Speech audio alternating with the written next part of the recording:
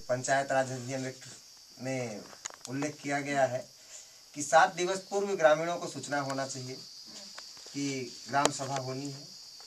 अगर कोई भी आपातकालीन स्थिति आ जाती है तो उसमें तीन दिन का डेट दिया हुआ है। वो भी उसका कारण बताना पड़ेगा कि तीन दिन में वो क्यों कर रहे हैं। जबकि इसके पहले ऐसा होता नहीं था हमारे यहाँ। अचानक में ग्राम सभा रख लेते थे और ग्राम सभा ऐसी होती थी कि ग्राम सभा में जैसे छह मार्च की जो ग्राम सभा हुई मेरे यहाँ। मनमानिक तौर मनमानी तौर पे। वहाँ पे ये चीज़ पहले से किसी को पता भी नहीं था कि जंगल देने की बात कही जाएगी इसमें कंपनी को। और वहाँ जाने पे ये पता हुआ कि जंगल को कंपनी को देने के बीच की बात है इस ग्राम सभा में। तो वहाँ पे एक सौ चौरासी लोग उपस्थित हुए। और एक सौ चौरासी लोगों की उपस्थिति के बाद रजिस्टर क्लोज किया गया। पद मुद्रा सहित। हाँ पद मुद्रा सहित वहाँ पे सरपंच गाँव का प्रधान जो होते हैं सचिव सहायक सचिव। ये रोज़गार सहायक। तीनों ने अपना सील लगा के और वहीं पे अपना खाता क्लोज किया। कार्यवाही उपस्थिति और- उसी दिन रात में इन लोगों ने एक घर में बैठ के उसी प्रधान के घर में जो प्रधान के घर में बैठ के और इन लोगों ने वोटर लिस्ट उठाया। और एक सौ चौरासी जहाँ पे क्लोज था पचासी छियासी और सतासी तीन ये नंबर पे? नंबर के सामने उन लोगों का सील है। और अट्ठासी से फिर सिग्नेचर स्टार्ट हुआ नाम स्टार्ट हुआ तो ग्यारह सौ पच्चीस तक गया है। उसमें नौ मृतक हैं। तो और जेल दो में लोग। जेल में थे उस समय। उनका भी नाम ग्राम सभा में मिलता है। तो इस प्रकार की ग्राम सभा हुई है यहाँ पे। उसमें हम लोगों ने आवाज़ उठाया और यहाँ पे ग्राम सभा की एक प्रक्रिया भी अलग लगती है। इसका मुझे पूर्ण रूपेण ज्ञान नहीं है कि कार्यवाही रजिस्टर और उपस्थिति रजिस्टर अलग अलग यहाँ पे बनाया जाता है? कार्यवाही चाहे कुछ हो या ना हो उपस्थिति शुरू हो जाती है। अब इधर क्या प्रस्ताव लिखा जा रहा है उसका कोई पता नहीं। वैसे मेरे हिसाब से तो होना चाहिए कि कार्यवाही हो रही है कार्यवाही जहाँ से क्लोज होती है वहीं से उपस्थिति स्टार्ट हो जाना चाहिए। जहाँ से और प्रस्ताव को पढ़ के सुनाया जाए प्रस्ताव को पूरा पढ़ के सुनाया जाए कि आज के ग्राम सभा में क्या प्रस्ताव रखा गया एजेंडा क्या था।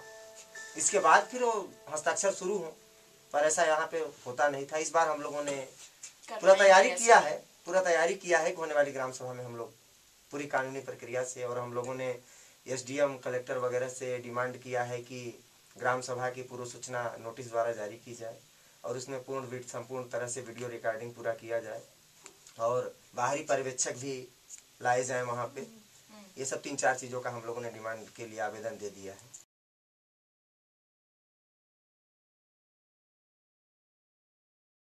ये हमारे साथी विजय सिंह जी हैं। जो अभी केस इनके ऊपर हम हम भी उसी केस में हैं। चार्जशीट में इनका भी नाम है। हम भी उसी केस में हैं। और मैं शपथ पूर्वक बोलता हूँ कि ये उस वक्त पे दो दिन नहीं गए थे जंगल। दो दिन गए ही नहीं थे वहाँ पे। और कोई छेड़खानी नहीं हुई। कंपनी के अधिकारियों से जंगल विभाग के अधिकारी से पुलिस प्रशासन भी वहाँ मौजूद थी। महिला पुरुष दोनों थे। पर किसी भी प्रकार का छेड़खानी नहीं की हमारे महान संघर्ष समिति की कोई पास पूरा वीडियो है पूरा वीडियो रिकॉर्ड वीडियो है अपने पास सब। कुछ वीडियो में लेकिन तो भी अवैधानिक रूप पे यही महेंद्र शर्मा ने ऐसा एफ़ दर्ज करके।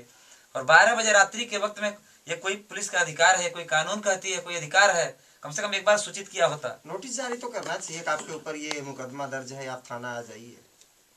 तो इन्होंने क्या किया था कि ये लोग थाने नहीं पहुँचे होते?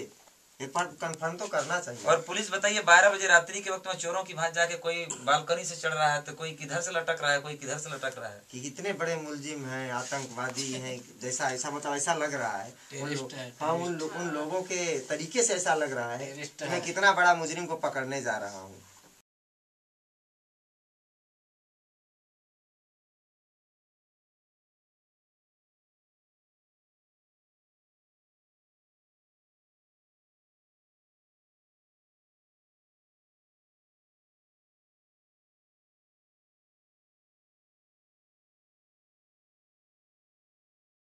भरोसा स्वयं पे है।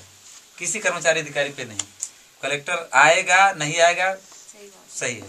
पर हम है कि हम लोगों ने अपने तरफ़ से ये आवेदन किया है। कल उस सप्तावती को लेकर हम लोग लड़ तो सकते हैं कि मैंने बोला था आपने नहीं किया आपकी कमी है मेरी कमी नहीं। सारा जिम्मेवारी कंपनी को सौंप दिया शासन प्रशासन की पूरी जिम्मेवारी कंपनी को सौंप दिया। तो मैंने यही बोला कि जब सारा काम कंपनी ही करेगी तो आप प्रधानमंत्री जो है उसको इस्तीफा दिलवा दीजिए रिजाइन मरवा दीजिए कंपनी बने। और जो मुख्यमंत्री है, उसको भी रिजाइन मरवा दीजिए यह कंपनी ही रहेगी। सारा प्रक्रिया कंपनी ही करेगी तो आप क्यों, किस लिए आए हैं?